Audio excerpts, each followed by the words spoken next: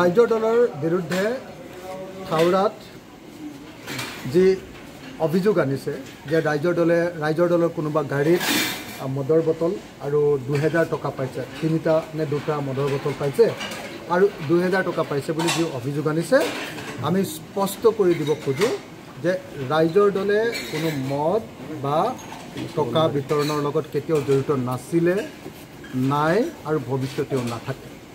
ৰাইজৰ দল মূল্যবোধৰ ৰাজনীতিত বিশ্বাস কৰে। আৰু এটা কথা মই খাটাংকৈ আপোনালোকক ক'ব খুজিছোঁ যে যেতিয়ালৈকে ৰাইজৰ দলৰ মই অন্ততঃ সভাপতি হৈ থাকিম তেতিয়ালৈকে ৰাইজৰ দলে কেতিয়াও কোনো ধৰণৰ টকাৰ ৰাজনীতি বা মদৰ মদ বিলোৱাৰ ৰাজনীতি কেতিয়াও কৰিব নোৱাৰে।